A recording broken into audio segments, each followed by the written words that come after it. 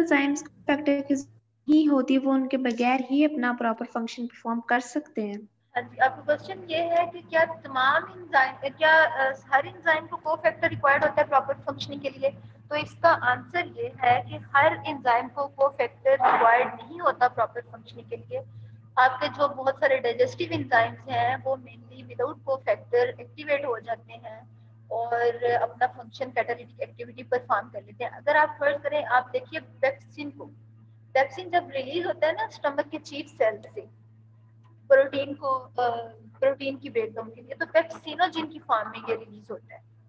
अब पेप्सिनोजिन जो है, वो तो एक्टिव है प्रो एंजाइम है, ठीक है? जाइमोजिन ग्रेन्यूल्स की सूरत में आप लोग समझिए अब खैर, आप इस बात को छोड़िए जाइमोजिन ग्रेन्यूल्स को। आप सिंपली बस ये देखिए कि ये होता है इनएक्टिव फॉर्म में पेप्सिनोजिन जो है इनएक्टिव फॉर्म में है। अब क्या इसको अपनी एक्टिवेशन के लिए कोई को फैक्टर रिक्वायर्ड है? नहीं, ऐसा नहीं है। बल्कि पेप्सिनोजिन जो है, जब इसने पेप्सिन में कन्वर्ट होना है तो सिंपली पीएच चेंज होने से ही ये एक्टिव हो जाएगा। कैसे एक्टिव हो जाएगा पीएच चेंज होने से? कि जो गैस्ट्रिक जूस है, वो भी आपके स्टमक से ही मुख्तलिफ़ जो चीज़ें रिलीज़ हो रही हैं, उन्हीं से गैस्ट्रिक जूस भी बन रहा है। ठीक है, उसमें मुख्तलिफ़ इलेक्ट्रोलाइट्स हैं और हाइड्रोजन आयंस है। तो हाइड्रोजन आयंस की वजह से जैसे ही एसिडिक होती है तो ये जो पेप्सिनोजिन है, ये एक्टिव हो जाता है। In the form of pepsin ठीक है? अब उसके बाद जो मजीद पेप्सिनोजिन होते हैं, उनको ये जो एक्टिव पेप्सिन होता है, ये उनको खुद भी पेप्सिन में कन्वर्ट करता जाता है। ठीक है? तो इसलिए फिर हम ये कहते हैं कि हर एंजाइम को फैक्टर रिक्वायर्ड नहीं होता अपनी कैटालिटिक एक्टिविटी परफॉर्म करने के लिए, बल्कि बहुत सारे एंजाइम्स ऐसे भी हैं जो विदाउट को फैक्टर भी अपना फ़ंक्शन परफॉर्म कर सकते हैं। इवन अगर वो रिलीज़ होते हुए इनएक्टिव फॉर्म में भी होते हैं, जैसा कि हमने पेप्सिनोजिन की बात की तो वो सिंपली हाइड्रोजन आयन से ही वो एक्टिवेट हो जाते हैं, ठीक है? और ये जो इंजाइम्स हैं जब एक दफ़ा पेप्सिन एक्टिव हो गया तो फिर अपने साथ के दूसरे पेप्सिनोजिन जो हैं, उनको भी पेप्सिन में कन्वर्ट कर देता है। ठीक है? ऑटो कैटालिटिकली उसको हम कहेंगे कि ऑटो कैटालिटिकली वो एक्टिव कर देता है दूसरे एंजाइम्स को, अपने साथ के एंजाइम्स को, ताकि प्रोटीन जो है उसकी डाइजेशन की जा सके। हाँ जी, उम्मीद है कि अब ये बात आपको क्लियर हो गई होगी। ये आपका भी क्वेश्चन था कल और परसों भी ये क्वेश्चन किया गया था जब हम पढ़ भी रहे थे। तो खैर, अब मेरा ख्याल है मजीद वजाहत होगी। हाँ जी कोई और क्वेश्चन आपकी तरफ़ से? मैं जी बोलिए। मैं लास्ट लेक्चर में था कि एंजाइम्स को अपनी एक्टिविटी परफॉर्म करने के लिए एक्वस मीडियम की ज़रूरत होती है।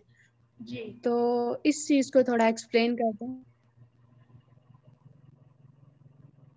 एंजाइम जो है इनको एक्वस मीडियम की ज़रूरत होती है क्योंकि ये एक्ट ही अमूमन आप देखिए कि किसी न किसी मीडियम में कर रहे होते हैं। ऐसा नहीं होता कि कोई हवा में ही ये मौजूद है और ये वहाँ पे अपना फ़ंक्शन परफॉर्म कर रहे हैं ठीक है?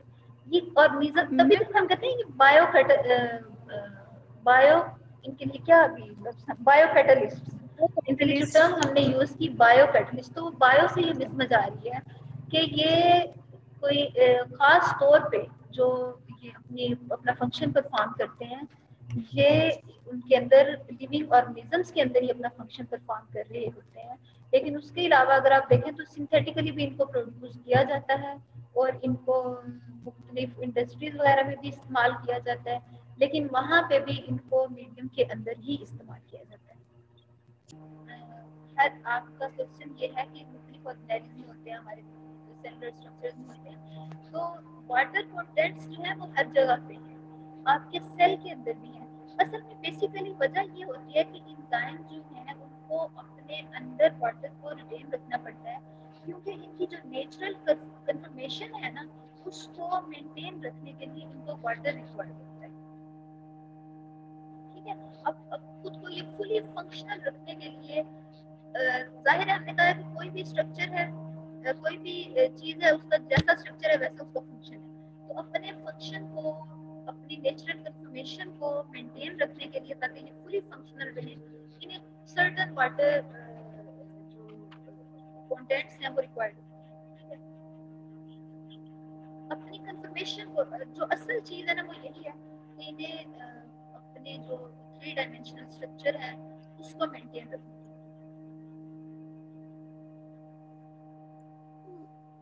ओके मैम मेंशन की रहती हैं कि इनकी प्रोसेसिंग के फंक्शनिंग के लिए जो है ना मतलब एक होता है ताकि ये जो सब है और इनका ये मिक्स हो ये क्योंकि के मॉलिक्यूल्स हैं वो मूव करते हैं तो साथ साथ की मूवमेंट मिक्सिंग हो जाती है। मेरी आवाज़ हेलो आवाज़ आ रही है? जी बोलिए मैम एक्वस जो मीडियम है, वो जो कंफर्मेशन है कि उन जो है, उसको मेंटेन करने के लिए ज़रूरी होता है, लेकिन फंक्शनिंग के लिए भी ज़रूरी होता है कि उनकी जो मीनिंग है सब्मिट और इंजाइम वो हो सके कि वाटर के मालिक जो मूव कर रहे हो साथ साथ जो है सब्मिट और इंजाइम उसमें प्रॉपर हो हो सके वजह से भी इनका एस मीडियम होना ज़रूरी होता है। अच्छा अगर आपके फेलोज में से किसी को भी इनकी मोहम्मद इलियास खान की क्वेश्चन की समझ आई हो तो आप प्लीज़ जरा जिनकी आवाज़ क्लियर आ रही थी मुझे अभी जो पूछ रही थी कुछ तो आप काइंडली इनका क्वेश्चन रिपीट कीजिएगा। मैं क्योंकि समझ नहीं सकती हूँ क्या पूछ रहे मैम भाई ये कह रहे हैं कि वाटर मॉलिक्यूल्स सबस्ट्रेट मतलब उनकी मिक्स के लिए इम्पोर्टेंट है। किसके लिए इम्पोर्टेंट है? मैम मिक्सिंग के लिए। प्रॉपर मिक्सिंग के लिए नहीं ये रिक्वायर्ड होती ठीक है? असल में वजह ये होती है कि इंजाइम्स अगर वाटर कंटेंट्स ना हो जितने उनको रिक्वायर्ड होते हैं कम से कम उतने होने चाहिए जितने उनके स्ट्रक्चर को स्टेबल रखने के लिए वरना वो अपनी स्टेबिलिटी लूज करते हैं इंजाइम्स अगर वो स्टेबल ही ना रहे, उनकी वो जो उनकी अपना स्ट्रक्चर है वही ना मेंटेन रहे तो वो फ़ंक्शन ही परफॉर्म कर सकते।